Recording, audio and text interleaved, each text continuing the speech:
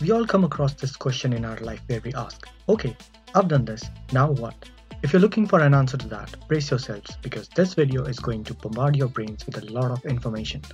Hello everyone and welcome back to the Sight Seeker and today we are looking at the options that you have after you graduate in optometry. Although this depends on your personal choice and interest, but if you're not sure, this video will help you as you still have a lot to explore from. Let us get started. You can start working in a hospital or a clinic.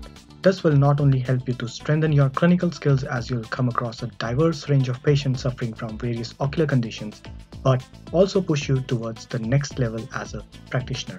You will be expected to perform routine clinical diagnostic techniques starting from measuring the visual acuity to a comprehensive slit lamp examination including a Volk lens.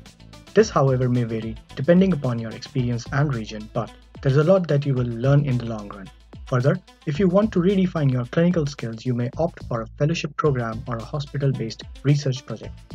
You can also contribute by working under the community services to reach out to those people who cannot access tertiary eye care services. Business. You can start your own optical business. This, however, will require a decent amount of investment before you proceed. You will be required to interact with customers, carry out pre-screening tests, and help your customers select spectacle frames, sunglasses, and lenses for their prescription multinational companies. There are a lot of multinational companies which specializes in eye care products and instruments, and they often look for optometrists to work for them. You can also get into technical training, sales, marketing, finance, and also managerial roles. Freelancing. You can choose to work for yourself and do the projects with different companies rather than being a company employee. Depending upon your interest, you can specialize in binocular vision, contact lenses, low vision aids, and ocular prosthetics. Considering your experience, you may be called to deliver a clinical workshop or guest lectures. Academia.